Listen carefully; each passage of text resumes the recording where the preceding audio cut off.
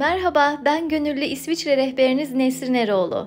Birkaç günlük tatil için İsviçre'nin İtalya'ya sınır olan Tessin kantonuna geldik ve Minuzio adlı küçük bir köyden ev kiraladık. Şimdi biz arabayı park ederken siz de çayınızı kahvenizi hazırlayın, evin girişinde buluşuruz. Evin girişi burada. Eve ilk kez geliyoruz şu anda valizleri sadece girişe bıraktık. Birlikte görüntüleyelim evi. Aslında bu evi Airbnb'den kiralayabilirsiniz.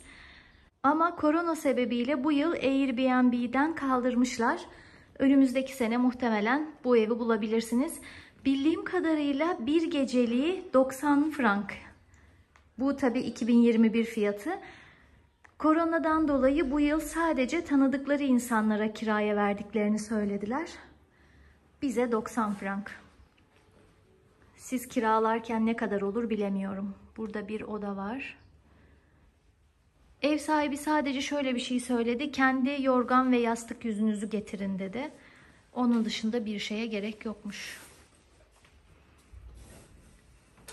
Bayağı geniş güzel evmiş. Banyosu biraz küçük ama iş görür. Birlikte dışarıya bir bakalım. Burada mangal da yapılır. Aa, şu tarafta güzel bir manzarası var. Açık balkon. Yani şurası başkasına ait. Evet güzel yermiş. Üstelik göle de oldukça yakın. Minizyo'daki ilk günümüz. Buraya zaten saat dört buçuk gibi geldik. Eve yerleştik. Akşam yemeğimizi yedik ve şimdi Minizyo'yu keşfetmek için ufak bir yürüyüşe çıktık. Ara sokaklarında biraz dolaşacağız. Akşam yemeği için birkaç bir şey almamız lazım ve yarın sabah kahvaltı yapmak için birkaç bir şey alacağız. O yüzden markete gidiyoruz. Galiba gölün etrafına da ineriz bugün. Hep birlikte keşfedelim istedim. Burası İsviçre'nin İtalya'ya sınır bölgesi olduğu için burada daha çok İtalyan esintilerini görmeniz mümkün. Mimaride de öyle. Hava zaten inanılmaz fark etti. Mesela biz Zürih'te hala üstümüzde ince de olsa bir mont almadan dışarıya çıkamazken burası bildiğiniz Antalya gibi. Ah hanım eli. Çok güzel kokuyor. Yasemin. Yasemin üstteki de hanım eli. Çok güzel. Aa mis gibi kokuyor. Bizim evimizin olduğu yerde, evi tuttuğumuz yerde. Bu arada buraların en güzel yanı böyle her musluktan gönül rahatlığıyla sağlıklı su içebilmeniz.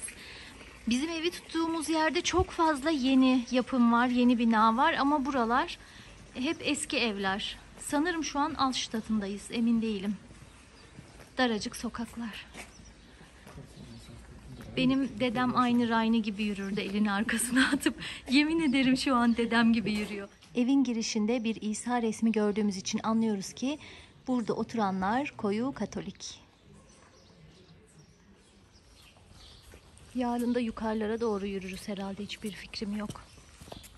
Şu da Rayne'nin ikizi Georg ama videolarda görünmek istemiyor. Bakın mesela burada yeni dünya bile yetişmiş. Çok da güzel olmuş. İklim o kadar farklı.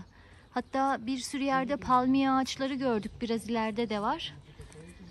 Raini ile Georg da söylüyor. İsviçre ve Almanya'da palmiye ağacı yetişmiyor ama bu bölgede tabii ki iklimden dolayı çok güzel ağaçlar ve meyveler yetişebiliyor. Aa çok güzelmiş burası. İşte göle ineceğiz. Önce markete girip birkaç bir şey alacağız. Sonra da bu gölün etrafında yürüyeceğiz. Bu arada İtalya gümrüğüne galiba maksimum 30 dakika uzaklıktayız. Ben bu küçük köyü gerçekten çok sevdim. Çok sevimli bir yer ve geldiğimizden beri hiç ses gürültü duymadık. Çok sakin. Şimdi yürüyerek Muralto'ya geldik. Burası da küçük bir belediyeymiş. Bu bina yeni yapılmış ve yeni yapılan apartmanlar oldukça lüksmüş öyle söylüyorlar. Fiyatları da çok pahalıymış. Manzarasını da göstereyim size. Ne kadar lüks olursa olsun yeni yapılan binaların mimarisini ben pek beğenmiyorum. Çok ruhsuz geliyor bana. Ve göl kıyısına geldik. Havanın yağmurlu ve soğuk olacağı yazıyordu internette aslında ama bugün gayet güzel. Umarım böyle devam eder. Ben burayı Kadıköy modaya çok benzettim. Evlerin yapısını, kafeleri, insanların böyle rahatlığı, boş vermişliği zaten. Evet burası İtalya dedirttiriyor.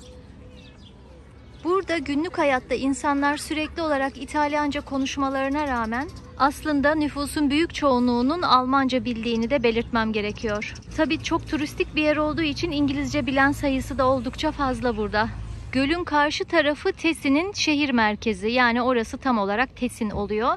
Münüzya ise Tesin'e bağlı küçük bir köy. Minüzya özellikle karşıda bulunan Tesin şehrindeki zenginlerin yazlık evlerinin bulunduğu bir tatil köyüymüş aslında.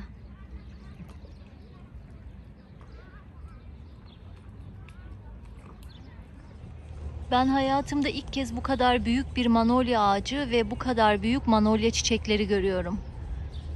Videoya ne kadar yansıyor bilmiyorum ama çiçekler bir avuçtan daha büyük, bir avuca sığmaz kesinlikle. Yürüyüşümüze devam ediyoruz. Buraya geldiğinizde acaba göl manzaralı bir otel bulur muyum diye endişe etmenize de gerek yok. Bu şekilde göl kenarında ve manzarası bol olan otellerin sayısı çok fazla. Burada yapılacak ilk şey devasa manolya ağaçlarının altında göl kenarında yürümek olmalı. Gölde kayık ya da botla gezeyim derseniz de fiyatları bu şekilde belirten bir tabela buldum. Haritada da hemen Minuzyon'un yerini göstereyim size. Henüz karar veremedik ama şunu alabiliriz. Bir saati 60 frankmış. Böyle bir şey olabilir. Küçük bir gezinti için belki. Minuzio'da burası.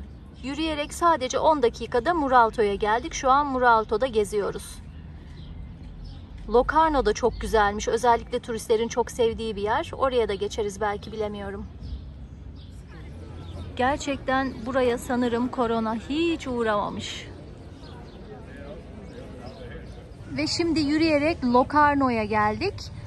Burası Locarno'nun girişi ama size şunu da göstereyim. İsviçreliler daha önce söylediğim gibi bayrak asmayı çok sever. Kırmızı beyaz olan İsviçre bayrağının yanındaki mavi kırmızı olan bayrakta Kanton Tessin bayrağı.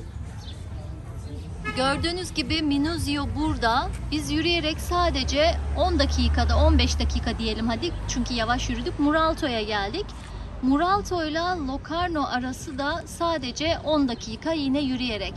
Yani sahil boyunca yürüyerek buraları çok rahatlıkla gezebilirsiniz. Locarno'dan sonra ise burada bir delta ovası oluşmuş buradaki ırmak sayesinde. Ascona var. Ascona da çok turistik yerlerden bir tanesi. Bu tatilimizde Ascona'ya kadar gidecek miyiz hiç bilmiyorum.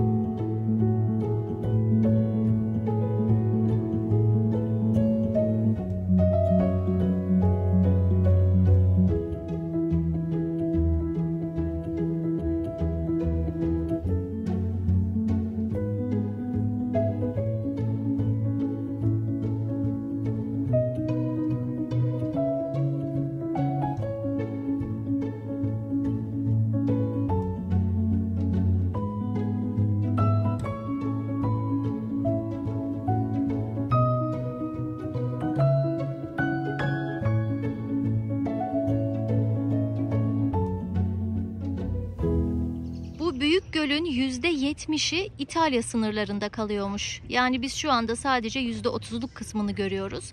İtalyanca adı Lago Manciore'ymiş. Almancası ise Langensee yani uzun göl anlamında. Bugünün akşam yemeğinde tabii ki pizza var. İki farklı pizza aldık. Bu 17 frank, bu 22 frank. Bunu size detaylı göstermeden duramayacağım. Bence bu pizza falan değil, olmamalı. Bildiğiniz bazlama ekmeğinin üstüne mozzarella yani camış peynirini koydu, getirdi. Bir de fırında ısıtmışlar. Öyle pişmiş falan da değil yani ılık. Bilmiyorum ben beğenmedim. Yemek konusunda sınıfta kaldınız. Burayı beğenmedim. Minuzio'daki ilk günümüzün ve bu videonun sonuna geldik. Elbette yarın ve sonraki günler gezilerimiz devam edecek. Yeni videolardan haberdar olmak için kanala abone olup bildirimleri açmayı ve düşüncelerinizi bana yorum olarak yazmayı unutmayın. Bir sonraki videoda görüşmek üzere. Tesin'den sevgiler.